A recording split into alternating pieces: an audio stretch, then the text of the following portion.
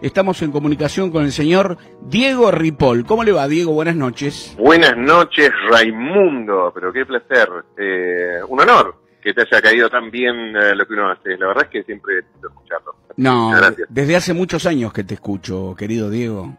Es que son muchos años de trabajo y aporte ya eh, como autónomo, vos sabés, sin aguinaldo. No, pero, pero sos, sos joven, sos un tipo, seguís siendo un tipo joven. Yo creo que sí, porque viste que esto lo mido en, el momento que te morís. Yo me muero ahora, que tengo 47, van a decir, che, te murió joven. Bueno, soy joven, listo. No, sos joven, sos joven. Estás más maduro, me he dado cuenta en un montón de aspectos tuyos, por tantas experiencias, pero seguís teniendo la cosa divertida, la chispa, la inteligencia, el, el, todo el, swing, digamos, que es, es fundamental para, para la radio, ¿no? Que es muy importante. Ojalá sea todo cierto lo que decís, uno tiene esa intención de mantenerse, qué sé yo, todo lo más lúcido que uno pueda y lo más sensible y más empático para conectar de verdad con la gente, porque si no estás hablando como, no sé, a un público que no, es inerte, entonces no, prefiero como tener experiencias reales. Claro. Eh, vos sos allá de la zona oeste, sos de, Ramos, ¿no? Sí, en realidad nací en Morón, crecí en Ramos, toda mi vida eh, viví en Ramos hasta los 21 años. Y ahí empezó una vida más nómade para mí, de, mudarme en ciclos cortos a diferentes localidades. Me fui inclusive a España un año también. Así que me, gusta dar unas vueltas. Bien. Eh, ¿Cómo empezaste con la radio? ¿Radio local, la clásica, una radio barrial y de ahí fuiste acercándote a Capital? ¿Cómo fue ese trayecto?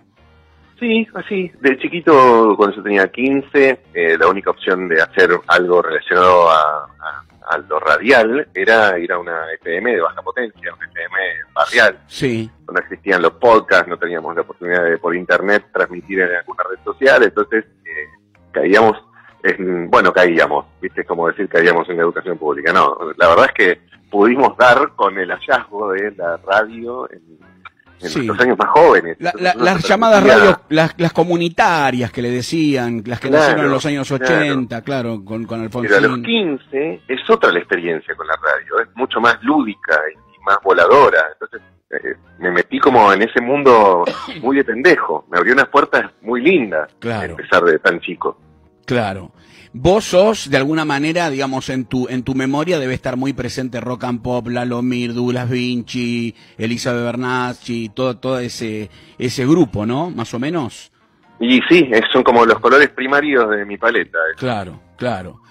Y digamos, yo te conocí, o sea, yo te empecé a escuchar cuando llegaste a la Metro con Peña, pero antes, digamos, me gustaría saber qué hubo unos añitos antes. ¿Qué andabas haciendo?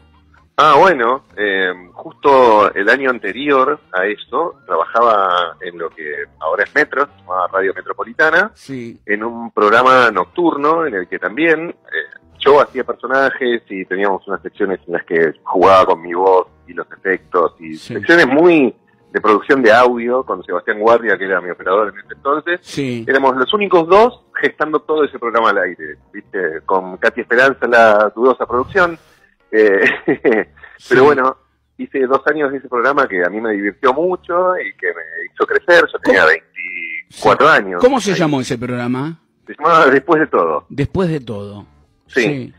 Y bueno, con ese trabajo que yo estaba haciendo de noche, más lo que venía haciendo Fernando a la mañana, decidieron unir nuestros caminos en el parquímetro en el año 2000. Claro, porque antes del programa del parquímetro me acuerdo que estaba Petinato con la punta del obelisco, creo que se llamaba así. No me acuerdo de eso, de verdad. que era así. Y arranca Peña con Luis Pesinei, primera etapa, primer año, creo. Con Luisito Pesinei, que era muy formal, era muy, digamos, era una persona muy clásica. Y sale Pesinei y entran ustedes. Eh, claro, salió Pessinei, que para mí igual Pessinei tiene su mérito, muy importante el laburo de Luis, porque aún con toda esa formalidad, me parece que Peña encontró un como un contrapunto para apoyarse en el sentido común de este locutor tan acartonado Claro. Pero que era un buen personaje también. o sea, Peña lo sabía explotar. Sí, y después yo conecté con él por esto de, tener algún gen compartido. Él tenía un talento genial y yo tenía la forma de poder interactuar con él. Claro. Y eso para mí fue también fundacional en, mi vida, obvio. Yo, me lo encontré a Pesinei en San Bernardo, en FM Cielo, que me invitó ahí a hacer un poco de aire y charlamos. Yo le voy ahí también. Y este, en una época yo era este, un oyente enfermizo de Peña, este, y tuvimos digamos, el tipo tenía una oreja tan desarrollada que aunque yo cambiara la voz, el tipo me detectaba al toque. Era impresionante. Yo dejaba pasar unas semanas y lo llamaba y me decía, no, no, cortale, cortale. Era espectacular. Pero era muy divertido, muy divertido. Bueno, eh, bueno, ¿qué decir de ese programa El Parquímetro? Un programa formidable eh, yo creo que Fernando es el último gran artista de la radio. Creo que no habrá otro igual, sin duda. Eh, el otro día se cumplieron, este, bueno, vamos a decir, los años del, fallecimiento. Bueno, lo recordamos en la radio como en todas. Este, digamos, haber trabajado con él. ¿Qué te dejó eh, pero ya creo que tengo que hablar ya en términos casi filosóficos, ¿no? O de existencialistas. es que te iba a responder en ese sentido también. Claro. Más allá de lo profesional, lo, el contacto del vínculo humano con Fernando fue muy importante. Yo llegué a quererlo como la quiero a mi hermana. Eh, así, esa relación teníamos. Y mm, fue muy liberador el trabajo con Fer. Nos acercó mucho a todos a, a nuestra mejor versión a lo que queríamos ser. Y eso también fue muy importante para la vida de todos. Scott ahora hace teatro, hizo tele, conduce su programa en Radio Berlín. Sí. ni te tengo que decir el carrerón que hizo. Ni hablar. Me parece que eh, esa chispa que nos encontró a todos nos empujó a escapar de la mediocridad. Liberador. Tratar de acercarnos a nuestro mayor potencial. Vamos a ver si lo logramos, pero por lo menos hicimos el intento. Liberador, sí, totalmente. Bueno, vos también llegaste a subirte al, al, escenario, ¿no? Con él. Eh, claro, sí, hice un año de esquizopenia duele. Claro. Sí. Yo lo vi. Y ahí también. En una, de, las, como una de las primeras. durante 40 minutos con este monstruo. Pero también sentía que era como jugar con Maradona, con Messi. Total, la presión se la lleva a él. Va a decir cosas que la gente va a estallar y bueno, yo le doy un par de pies y vamos a compartir esto. Y más suerte no puedo tener. Sí.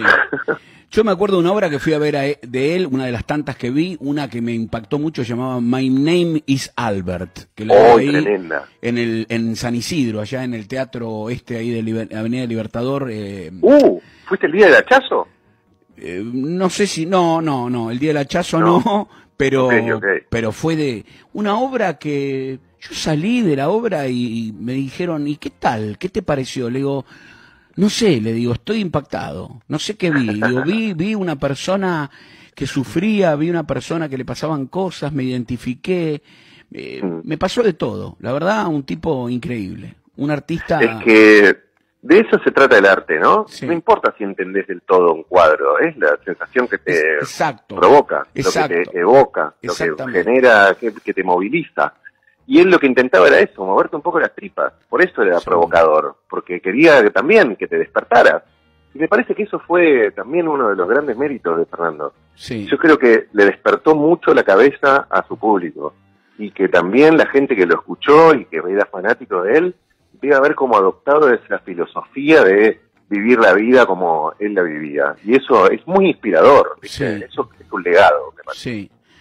Sí, yo te digo, tengo, tengo pero eh, yo en esas, esas mañanas en las cuales iba el programa tenía un comercio, o sea que lo escuchaba entero el programa y los finales de los programas, lo que pasaba en los programas. Era, era una fiesta, era una cosa de, de, de, local a local, teníamos enfrente una pinturería y era hablar, charlar cuando terminaba el programa, era una maravilla. Y bueno, y, vos estabas en ese equipo que era, era maravilloso, el trabajo también que vos hacías, cómo cómo lo seguías, el ritmo. Bueno, era fantástico, fantástico.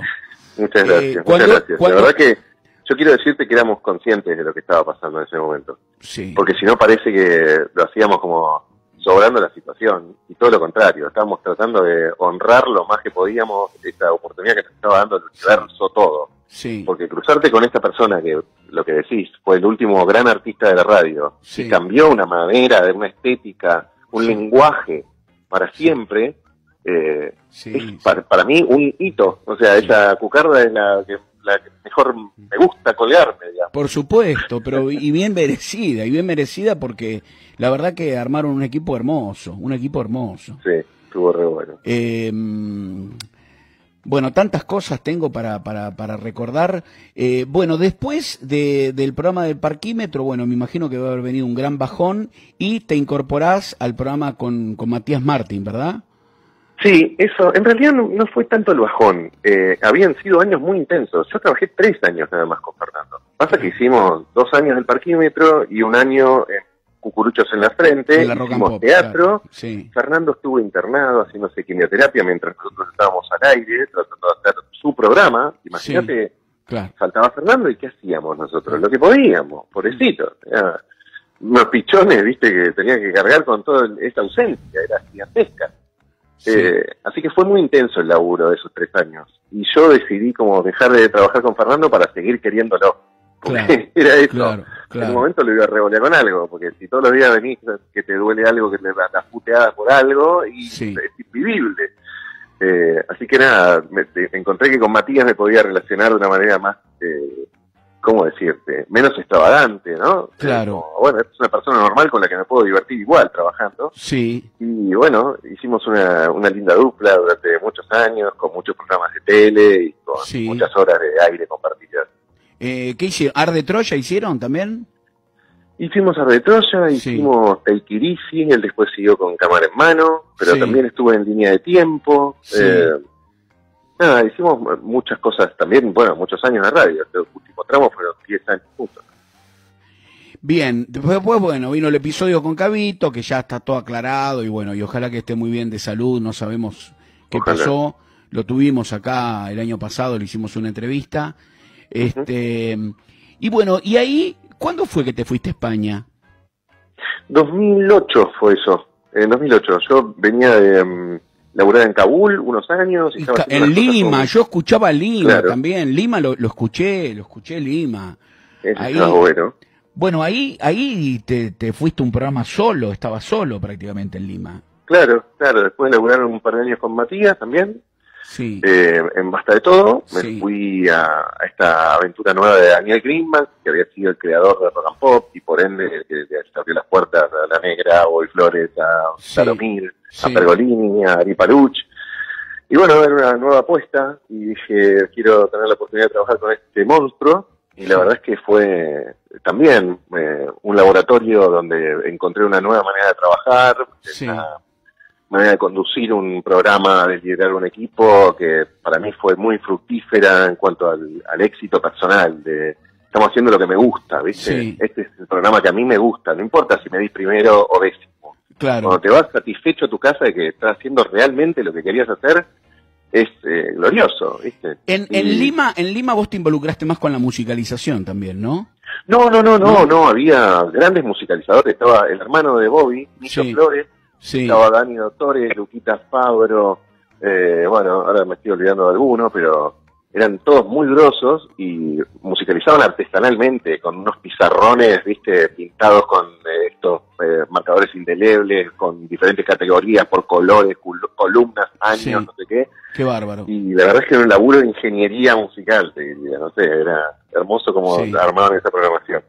Y, vos, en lo personal, ¿cómo te vinculas con la música, digamos, fuera del, del, de la radio? ¿Sos de escuchar, escuchás variado, sos más de una línea? ¿Cómo, cómo, cómo es tú? Bueno, encontré que tengo lo mismo que me pasa con las películas. Depende del humor con el que esté, pongo la música que necesite, digamos. Y por lo general soy muy del soul, eh, soy medio como a tempo, me dicen mis amigos, como que escucho música medio arriba. Sí. Eh, pero también tengo momentos en los que me gusta escuchar clásicos, Sinatra, nada, poner algún bolero, una salsa, también la disfruto, algún candombe, escucho todo, la verdad que me, depende del humor, eso es lo que te digo.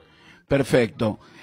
Em, Sí, ah, eh, digamos música tipo afroamericana, podríamos decir. Sos más del funk, Eh, del soul. Puede ser del- eso. Sí, Del sobre el funk me gusta mucho, sí. sí, sí, cosas Sí. eh, tirando arriba, sí, tirando alegres, sí. digamos, claro. Sí, exacto. Eh, termina el 2008, ¿y qué hiciste en España? Y en España me fui con un proyecto de un programa que finalmente no se hizo, eh, pero laburaba mucho en locución comercial y en locución para el Behind the Music de MTV, estaba haciendo locución de Stapping, el programa del Pelado López los sábados por Telefe. Sí, Entonces con eso, con la guita que cobraba en pesos, milagrosamente podía vivir muy bien, tranquilamente.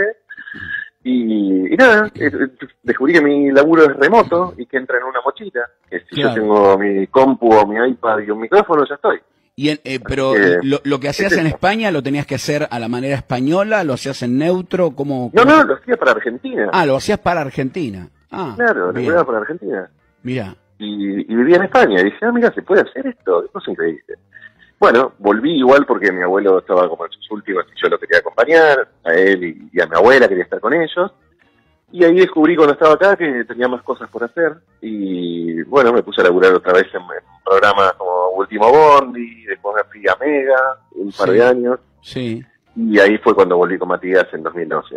Y con Basta de Todo, un hermoso programa, un muy lindo programa. Sí, un, un gigante. Un magazine, gigante. un magazine, digamos, moderno.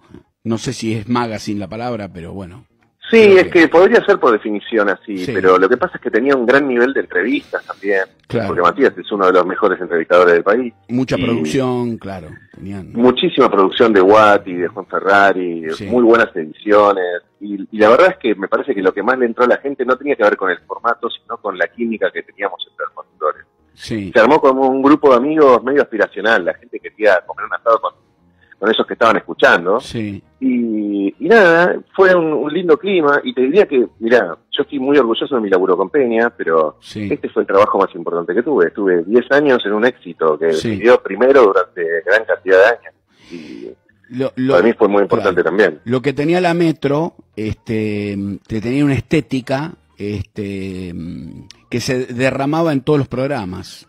Entonces, Sí. este, uno escuchaba una cosa muy coherente, moderna, muy dinámica. La verdad que era, es muy agradable. para Sí, tenía, tuvo, tuvo su linda época de, Sí, de mucha cofradía también entre los programas. La química que teníamos con los chicos de Metro y Medio también era Sí. espectacular. sí. Bueno, por haber laburado con Seba, lo conocí hace tantos años que estuvo buenísimo y, y es el programa de hecho que más me gusta siempre de, de Metro y de Urbana, es hermoso, eh, Metro y Medio, Vuelta y Media, como le quieran llamar. Sí, Eh, y Sí, bueno, nada, sí, era eso que decís, había como una continuidad en la programación y una, una, linda colaboración, había mucha, no sé, mucha cooperación entre programas, buena onda te diría. Tengo, tengo que preguntarte esto, pero no este, onda real, viste, onda mala Sí. leche, sino yo sentí que cuando terminó Basta y se mudaron a, a la otra radio, a mm, ¿cómo es que se llama? La nueva radio, radio que armaron Urbana, Urbana, Urbana Play. Urbana Play, eh, yo esperé que estuvieras y no, no estabas y me dolió. Dije, pero ¿cómo, Ripoll? Dije, y empecé a preguntar por Ripoll y Ripoll y me metí en tu Instagram y no había noticias, me metí en tu Twitter y no y un día dijiste, habrá novedades y ahí, bueno, llegaste a Nacional. Eh, ¿Qué, ¿Qué pasa ahí? ¿Qué, ¿Qué pasó? ¿Se charla? Eh, ¿Se dice, no, mira, estoy armando otra cosa? O sea, desde lo humano, ¿eh? Yo sé que son amigos, que no, que no Sí. hay ningún tipo de, de- de, digamos, de, de búsqueda de chismerío ni mala onda. Pero ¿qué no, pasa? no, ¿Cómo- está bien. Eh, había algo que era, hacía años que había un malestar entre los conductores de Metro y los dueños Sí, de la radio, sí, eh, y esto ya que ahora se escucha en Urbana había sido una idea de hace muchos años atrás, que estaba pendiente. El tema es que pasaron los años y también son muchas horas de aire y de fricciones, eh, no sé, de, de muchas coincidencias y muchas horas de disfrute, sí. y algunas, bueno, algunas que no te llevas también, es, es como lo que pasa con cualquier relación. ¿viste? Pero la, fricción, pero a ver, la fricción es entre un directivo y, y- y un equipo de producción más la conducción. Eh, ¿qué, qué, qué, ¿Qué es concretamente? O sea, ¿qué son? Este, si estás haciendo el programa y es exitoso y lo escucha un montón de gente, ¿cuál Sí. puede ser el reclamo o, o- o el, o el problema? Bueno, la verdad es que habría que preguntarles a ellos, en realidad, cuál era el problema que tenían ah. con los directivos. Yo no tenía mayor problema, yo cobraba un sueldo mensual y no era que participaba de la ganancia de la radio, no te puedo decir. Bien. Eh, así que ni idea, la cuestión económica es un problema que no pasaba por mi responsabilidad, básicamente, ¿no? La distribución. Sí. Eh, yo te puedo contar lo que pasaba con, con el aire, que sí, me parece que, ya estaba agotada la relación. Y bueno, después ves el movimiento y te das cuenta que, no sé, Basta se, se fue sin Malena y sin mí y eh, como que me metió ahora la incorporación de, Clemente, sí. que está perfecto y yo no tengo ningún problema, pero te das cuenta que también la búsqueda es como achicar un poco los equipos, ¿no? Claro, hay un... Claro. Y si la idea era esa, si me la comunicaban mejor, yo no tenía problema. El tema fue que eso fue lo que se enturbió, ¿no? el mensaje no llegó claro. Entonces, eh, me hubiese gustado eso, como un final más digno. Eso es lo que te puedo decir, Rey.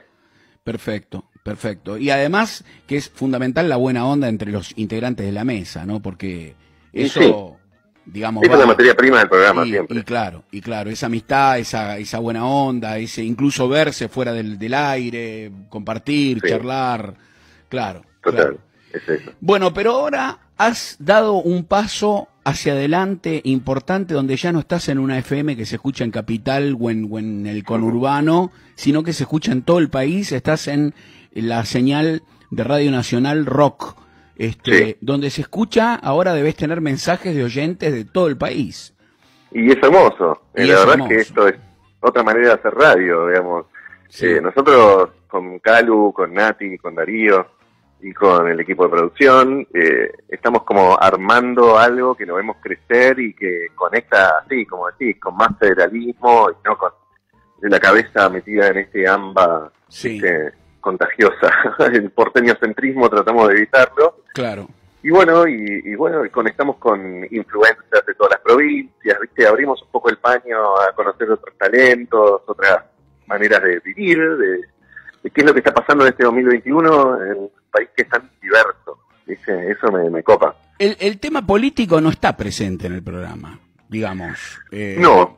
No, no, en realidad la política está en todos lados, me parece. Sí. Eh, cuando estás hablando de un acto de gobierno, estás hablando de, un hecho político, y cuando hablas de algo que hizo la oposición, lo mismo, ¿viste? Eh, yo intento ser siempre equilibrado, no no, viste, no es mi estilo ser tendencioso con nada, nunca busqué títulos rimbombantes, no tengo ese periodismo sensacionalista ni, ni, ni operador, así que intento ser lo más justo posible al aire. Es verdad, bueno, en, Basta era eso, yo me acuerdo en Basta que discutían este, para un lado o para el otro, o sea, las incoherencias de los dos lugares, este, en ese lado, en ese sentido eran ecuánimes y, y la verdad que era, era agradable agradable para todos los que ya hace años que estamos podridos de la grieta, ¿no? Los que estamos cansados. Ya son muchos años. Ya no, es divertido. De poco argumento y mucha pelea y ya cansa. Porque cada vez se ven cosas más pachatescas, más grotescas. Eh, Viste, lo que pasa en Bolsonaro, con Bolsonaro digo en Brasil, acá nosotros lo tuvimos un poco más edulcorado, pero es, gente peligrosa, que son, viste, muy eh, bueno, Trump también, ¿no? Sí, sí, sí. sí que llegaron por su extravagancia y, por su mensaje sensacionalista, y ese es el peligro, ¿viste? Seguir como alimentando el morbo de la gente para que siga votando mal. ¿Sos de escuchar radio eh, en tu tiempo libre? Sí, escucho, escucho siempre radio, qué, escucho de todo. Escuchas, ¿Qué escuchas? Bueno, escucho a M, ¿sabes qué? Escucho a veces eh, bueno, me gusta escuchar a Víctor Hugo, me gusta escuchar eh, a Dolina, sí. Eh, me gusta escuchar la red a veces, me gusta el, periodismo de chatarra de deportes. Sí, o sea que sos de las voces, sos de los míos, a vos te gustan las voces. Sí, Si quiero escuchar música, pongo Spotify. Exacto, te armás una playlist y listo, lógico. Exacto. Claro, o buscas música en YouTube o lo que sea. Pero sos de las voces, claro. Sí, a mí, a mí me pasa lo mismo. Yo tengo una radio en el baño me mandé a hacer un estante con un enchufe porque me gusta escuchar y se me cagó la AM y te juro que sufro. Escucho solamente FM y bueno, y voy cambiando, ¿viste? A veces te escucho a vos, escucho Urbana, voy escuchando la Metro. Este, también me doy cuenta que estoy viejo, ya tengo 59 y ya los programas de gente de 30 no me divierten y digo, uy, qué viejo que estoy. ¿Viste? Me voy dando cuenta que pasó el tiempo, pero bueno, este, qué sé yo. Y bueno, y hay cosas, sí, nos pasa a todos. Y hay cosas que le veo a los piolines, a la radio, viste, veo a los piolines de ciertas cosas, digo, mmm, va, viste, pero trato de ser, este, bueno, eh, qué sé yo, benévolo, digamos, de alguna manera. Eh, ¿Cómo ves la visión actual de la radio? Hablamos de la radio broadcasting, la radio de antena versus toda esta maravilla, pero también este gran enemigo, podríamos decir, de la broadcasting, que es la Internet. Mira, eh, hay que ser así de frío. Me parece que son diferentes tecnologías ya.